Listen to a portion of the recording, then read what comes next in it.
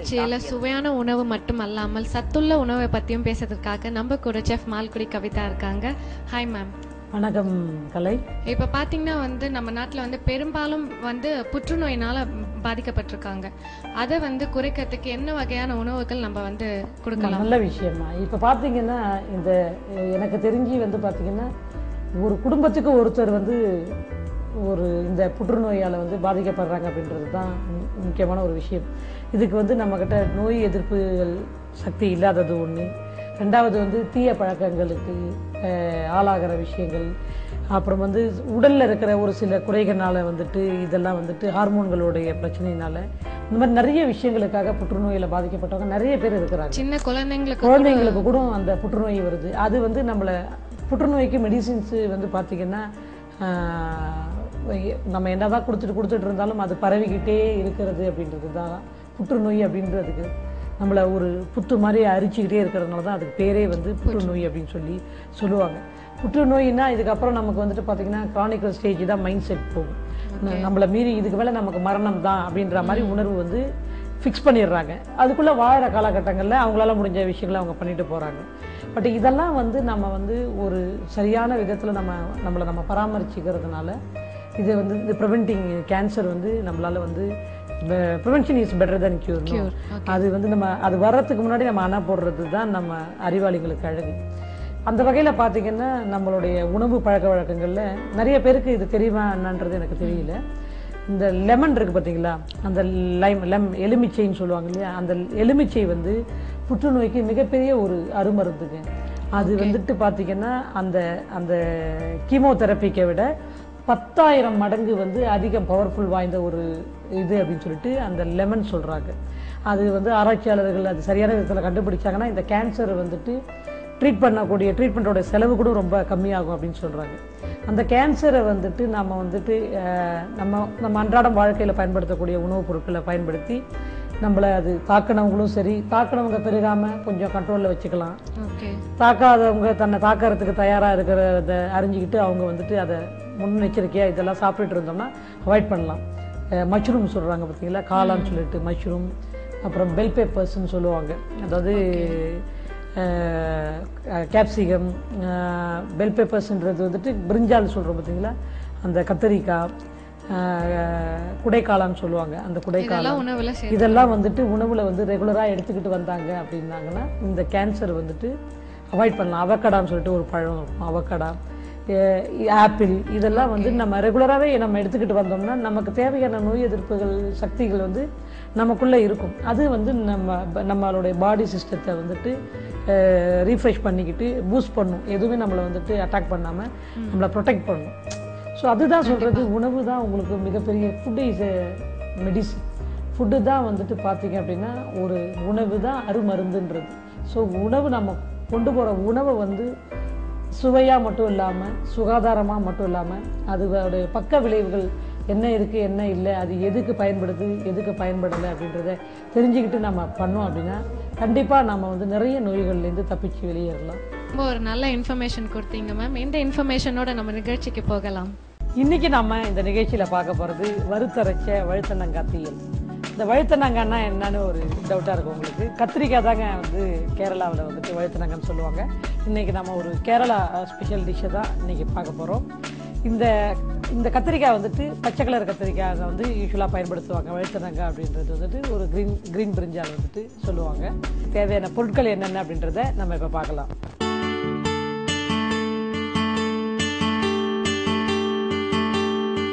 பச்சை கத்திரிக்காய் ஐந்து காய்ந்த மிளகாய் ஆறு. துருகிய வெல்லம் சிறிதளவு. சின்ன வெங்காயம் ஐம்பது கிராம். தோல் நீக்கிய பூண்டு ஐம்பது கிராம். இரண்டாக கீறிய பச்சை மிளகாய் இரண்டு. கருவேப்பிலை சிறிதளவு. சீரகத்தூள் கால் டீஸ்பூன். மிளகாய்த்தூள் அரை டீஸ்பூன். மஞ்சள் தூள் கால் டீஸ்பூன். தனியாத்தூள் அரை டீஸ்பூன். புளிக்கரைசல் சிறிதளவு மிளகு சிறிதளவு நன்றாக வறுத்த தேங்காய் துருகல் அரை கப் எண்ணெய் போதுமான அளவு உப்பு தேவையான அளவு.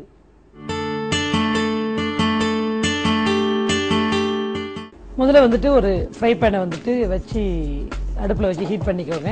ஏற்கனவே நான் சொன்னேன் இல்லைங்களா மசாலா வந்துட்டு நான் வந்து யூஸ் பண்ணியிருக்க தேங்காய் வந்து பார்த்திங்கன்னா நான் ரோஸ்ட் பண்ணி வச்சுருந்துருப்பேன். அதாவது தேங்காய் வந்துட்டு வெ வெறுமனை வந்துட்டு ப்ளைனாக வெறும் கடாயில் ரோஸ்ட் பண்ண ஆரம்பிச்சிங்கன்னா அந்த தேங்காவிலேருந்து வர எண்ணெயிலே இந்த தேங்காய் வந்துட்டு நல்லா ரோஸ்ட் ஆகிடும் இல்லைன்னா நீங்கள் வந்துட்டு இந்த மசாலா போடும்போது ஃப்ரெஷ் கோகோனட்டை கூட வச்சு நீங்கள் பயன்படுத்தி அதை பண்ணலாம். ஃப்ரெஷ் கோகோனட்டை தான் நான் அந்த மாதிரி ரோஸ்ட் பண்ணி வச்சுருக்கிறேன். ஏற்கனவே நான் என் ஆயில் விடலை இந்த ரோஸ்டடு கோகோனட்டையே இதில் போட்டிருக்கேன். இந்த கோகோனட்டில் வந்துட்டு கொஞ்சம் சில்லி பவுடர்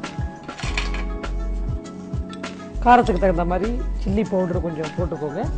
காஞ்ச மிளகாய் வந்து ஒரு இது என்ன இது ஃபைன் பேஸ்ட் பண்ணுறது காஞ்ச மிளகாய் போட்டிருக்கோம். கொரியாண்டர் பவுடர் ஒரு ஹாஃப் டீஸ்பூன் கொரியாண்டர் பவுடர் போடுங்க. ஒரு கால் டீஸ்பூன் வந்து டர்மரிக் பவுடர் போடுங்க. ஒரு கால் டீஸ்பூன் ஜீரா பவுடர் இதை வந்துட்டு என்ன பண்ணுறீங்க ஃபைனாக வந்துட்டு பேஸ்ட் பண்ணிக்கோங்க. இது கூட வந்துட்டு கொஞ்சம் கார்லிக் ஒரு ரெண்டு பாடு வந்துட்டு கார்லிக் வந்துட்டு போட்டுட்டு ஷேலட்ஸ் வந்து ஒரு நாலு ஷேலட்ஸ் போட்டு இதை வந்துட்டு நல்லா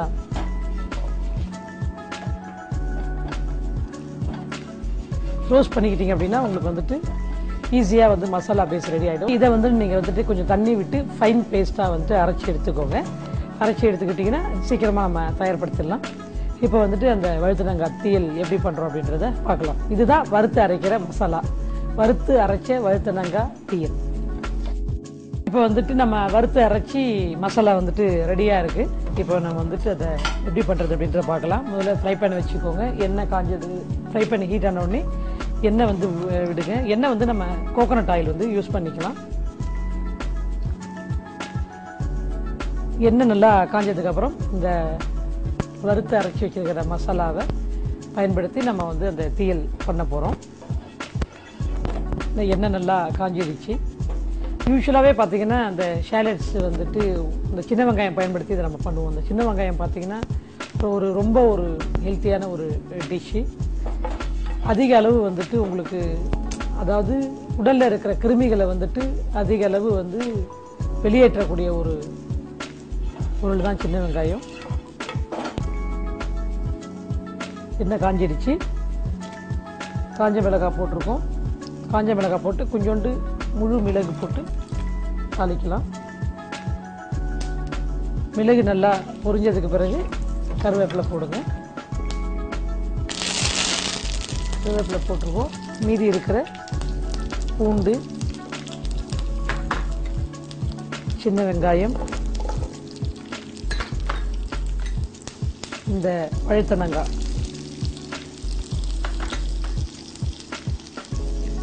பச்சை மிளகாய். இதை வந்து நல்லா வந்து வதக்கிடுங்க.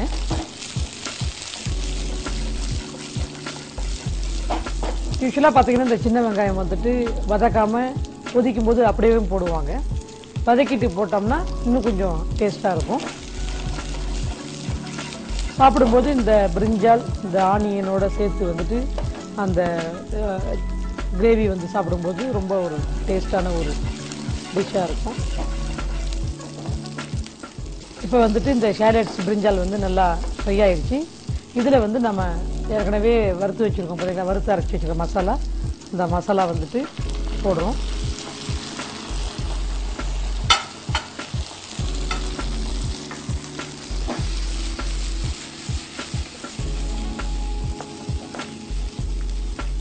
இந்த மசாலாவை வந்துட்டு இதில் நம்ம எல்லா காரம் காரத்துக்கு தேவையான அந்த மசாலாவில் எல்லாமே போட்டிருக்கோம். அதனால் இதில் நமக்கு தேவையான அளவு உப்பு மட்டும் போட்டால் போதும். உப்பு போட்டிருக்கோம். உப்பு போட்டு கொஞ்சோண்டு புளித்தண்ணி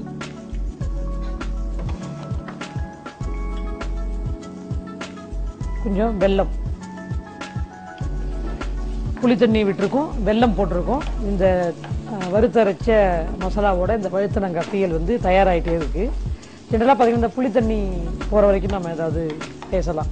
ஜென்ரலாக பார்த்தீங்கன்னா சில பேர் வந்துட்டு நான் கையில் போடுறது கூட உங்களுக்கு கொஞ்சம் தெரியும் கையால் போடுறாங்க அப்படின்ட்டு. ஹைஜீன் பர்பஸுக்கு நாங்கள் வந்து ஹேண்ட் க்ளவுஸ் யூஸ் பண்ணால் கூட யூஸ்வலாக வந்துட்டு நமக்கு வந்து சாப்பிடும்போது வீட்டில் பார்த்தீங்கன்னா அந்த காலத்தில் வந்துட்டு ஃபாரின் கலாச்சாரத்தில் வந்துட்டு அந்த ஃபோர்க்கு ஸ்பூனு இதெல்லாம் வந்துட்டு பயன்படுத்தி சாப்பிடுவாங்க. அதை பார்த்துட்டு நம்ம மக்கள் என்ன பண்ணுறாங்க அதில் ஒரு அட்ராக்ஷன் வந்துட்டு அவங்களும் வந்துட்டு ஸ்பூன் போட்டு சாப்பிட்றது ஃபோர்க் போட்டு சாப்பிட்றது. இது வந்து அந்த அந்த ஒரு அட்ராக்ஷனில் அவங்க அதை பண்ண ஆரம்பிச்சாங்க இதில் வந்துட்டு ஒரு பெரிய ஒரு விஷயம் இருக்குங்க. எத்தனை பேருக்கு தெரியும் அப்படின்றது எனக்கு தெரியல. பட் எனக்கு தெரிஞ்ச விஷயத்தை உங்கள் கூட நான் ஷேர் பண்ணிக்கிறேன்.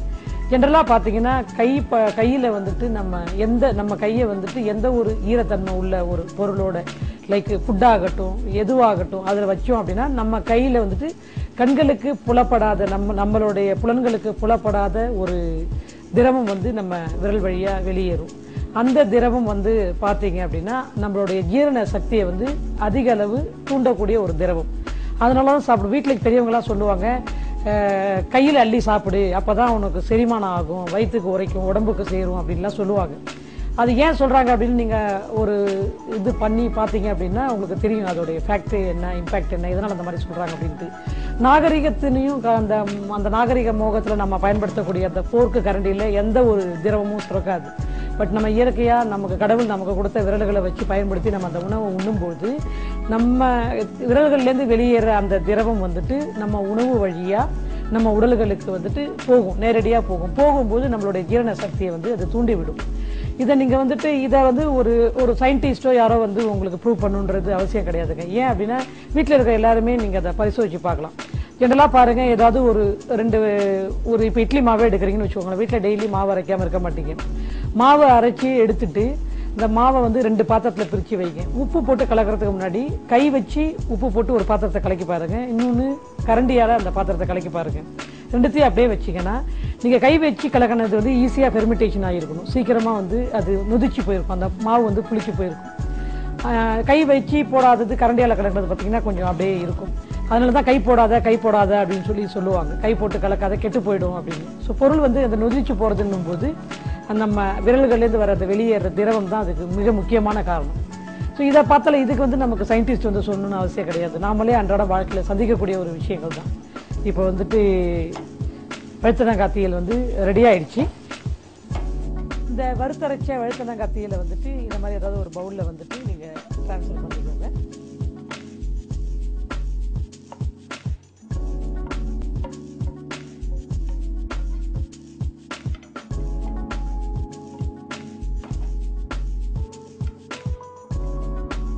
மாதிரி ஏதாவது ஒரு பவுலில் ட்ரான்ஸ்ஃபர் பண்ணிக்கோங்க. சுட சுட சுவையான வறுத்தரைச்ச வழுத்தனங்காத்தியில் வந்து சாப்பிட்றதுக்கு தயாராக இருக்குது. எனக்கு உங்களுக்கு வேணும்னா நீங்கள் கண்டிப்பாக சமைச்சு பாருங்கள் ஃபீட்பேக் சொல்லுங்கள்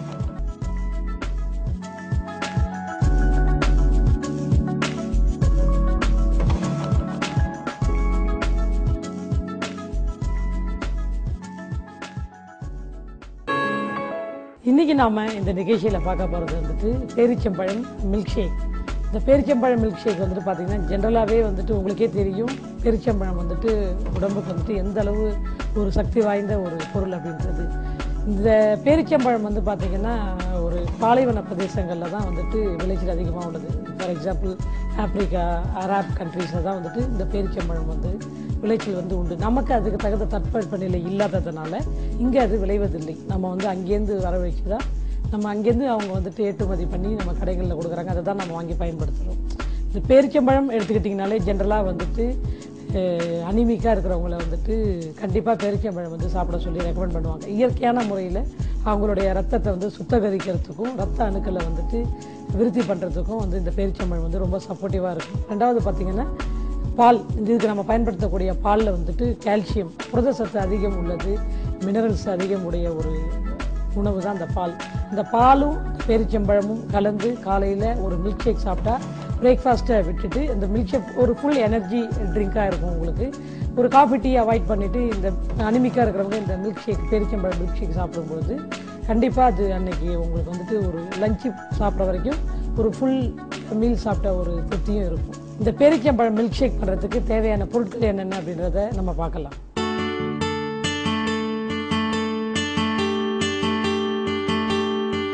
பால் இருநூறு எம்எல் விதை நீக்கிய பேரிச்சம்பழம் எழுபத்தி ஐந்து கிராம் சர்க்கரை இரண்டு டேபிள் ஸ்பூன் க்ரஷ்டு ஐஸ் சிறிதளவு.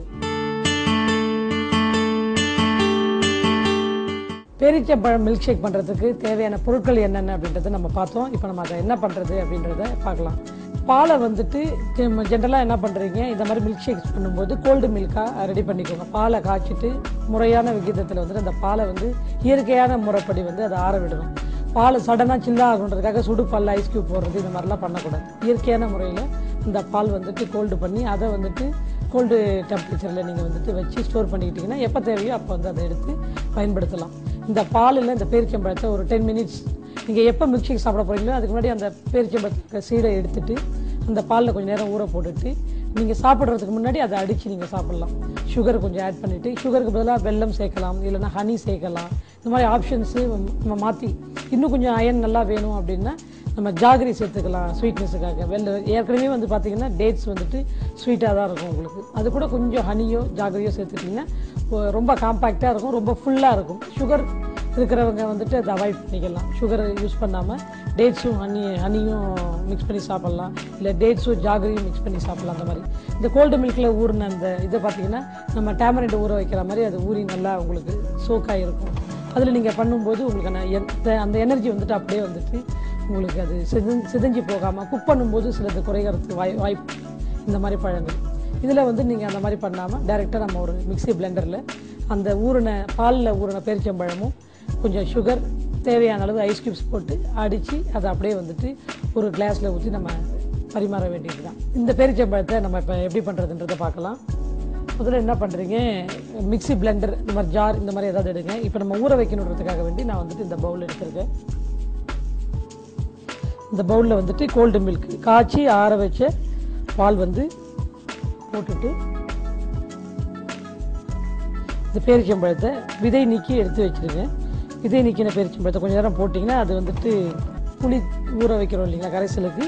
இதே மாதிரி ஊறி உங்களுக்கு வந்துட்டு ஒரு பத்து நிமிஷத்தில் ஊறிடும். பால் இன்னும் கொஞ்சம் உங்களுக்கு சீக்கிரம் வேணும்னா பால் நீங்கள் காய்ச்சி கொஞ்சம் வெது வெதுப்பாக இருக்கும்போது அதில் போட்டே ஊற வச்சு வச்சிங்கன்னா இந்த சூட்டில் இன்னும் கொஞ்சம் சீக்கிரமாகவே வந்தது ஊறிடும் ஒரு ரெண்டு ஐஸ் கியூப்ஸ் அதிகமாக சில்னஸ் இல்லாமல் கொஞ்சம் சில்னஸ் வேணுன்றவங்களுக்காக ஒரு ஐஸ் கியூப்ஸ் போட்டுக்கோங்க. இப்போ வந்துட்டு தேவையான அளவு வந்துட்டு சுகர் போட்டுக்கிறோம் இதை வந்து என்ன பண்ணுறீங்க நம்ம பிளண்டரில் வந்துட்டு ஒரு டென் மினிட்ஸ் அப்படியே வச்சுட்டிங்கன்னா ஒரு கொஞ்சம் எப்போ சாப்பிட்றீங்களோ சாப்பிட்றதுக்கு ஒரு டென் மினிட்ஸ் முன்னாடி ஊற வச்சா போதும். அதை வந்து பிளெண்டரில் வந்துட்டு பிளெண்ட் பண்ணி அப்படியே வந்து ஒரு கிளாஸில் ஊற்றி சாப்பிட வேண்டியதுதான். இதை முதல்ல பிளெண்ட் பண்ணிட்டு வந்துடுறேன் நான். இப்போ நாம் வந்துட்டு அந்த ஊற வச்சு வச்ச அந்த பவுலில் இருந்த மில்க் ஷேக்கை வந்துட்டு மிக்ஸி பிளெண்டரில் அடித்து எடுத்துகிட்டு வந்திருக்கேன். இதுதான் வந்துட்டு மில்க் ஷேக் இதை வந்து நீங்கள் வந்துட்டு உங்களுக்கு பிடிச்ச மாதிரி ஒரு கிளாஸ்லேயோ இதுலேயே பண்ணலாம் இது வந்துட்டு பார்த்தீங்கன்னா சாக்லேட் ஜென்ரலாக கடைகள் எல்லா இடத்துலையுமே கிடைக்கும் உங்களுக்கு. அந்த சாக்லேட் என்ன பண்ணுறீங்க லைட்டாக ஹீட் பண்ணிங்கன்னா அந்த சாக்லேட் மெல்ட் ஆகும். அதை வந்து இந்த மாதிரி ஏதாவது ஒரு கிளாஸில் போட்டு ஏதாவது ஒரு ஸ்டிக்கோ இல்லை ஏதாவது ஒரு அந்த கெனப்பி ஸ்டிக்கோ அந்த மாதிரி எதாவது இருந்துச்சுன்னா அந்த இதை கொஞ்சம் அப்படியே இழுத்து விட்டிங்கன்னா ஃப்ரிட்ஜில் அப்படியே வச்சுட்டிங்கன்னா அப்படியே செட் ஆகிடும் அந்த சாக்லேட் அதில் வந்துட்டு நீங்கள் இந்த மில்க் ஷேக் வந்துட்டு ஊற்றி கொடுக்கும்போது பார்க்குறதுக்கும் ரொம்ப அட்ராக்ஷன் இருக்கும்.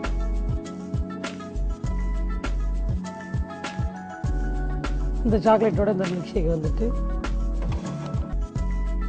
இப்போ பார்த்தீங்கன்னா நம்ம அந்த மில்க் ஷேக் வந்துட்டு இந்த சாக்லேட்டில் போடும்போது பார்த்தீங்கன்னா அழகாக வந்து இந்த சாக்லேட்டும் அந்த டேட்ஸும் மில்க் எல்லாம் சேர்ந்துட்டு அழகாக ஒரு சுவையான சூப்பரான மில்க் ஷேக் ரெடி ஆகிடுச்சு இதை வந்துட்டு அவங்களுக்கு வந்துட்டு கடைகளில் எல்லா இடத்துலையுமே கிடைக்கும். அவங்களுக்கு இப்படி மிக்ஸ் பண்ணிவிட்டு இந்த சாக்லேட்டோட சேர்த்து சாப்பிடும்போது டேஸ்ட்டாக இருக்கும்.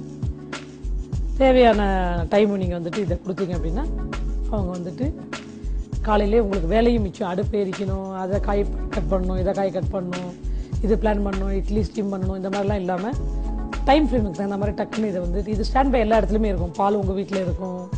பெரிச்சப்பழம் பேரிச்சம்பழம் எல்லார் வீட்லேயுமே ஸ்டோரேஜ் பண்ணிகிட்டு இருப்பீங்க.